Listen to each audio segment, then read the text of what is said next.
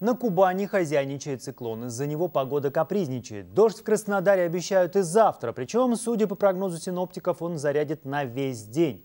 В регионе действует штормовое предупреждение. В некоторых районах прошли ливни с грозами. При обильных осадках, предупреждают в МЧС, горные реки могут выйти из берегов в считанные минуты.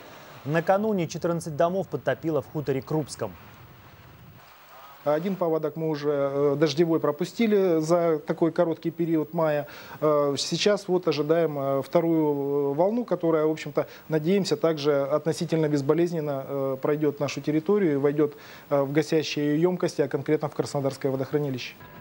Ну а хорошая новость в том, что с четверга дожди дадут нам небольшую передышку. В Краснодаре из-за туч выглянет солнце. За окном будет чуть меньше 20 градусов тепла.